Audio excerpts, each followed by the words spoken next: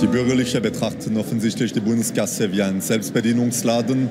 Das Ganze kostet 1,4 Milliarden Franken und das wird auf den Rücken äh, der Ausgaben im Bereich Bildung, der Ausgaben im Bereich Soziales, der äh, Subvention für äh, Krankenkassenprämien und der Entwicklungshilfe gegenfinanziert. Es ist einfach nicht vernünftig, in dieser Zeit solch hohe Steuergeschenke zu machen.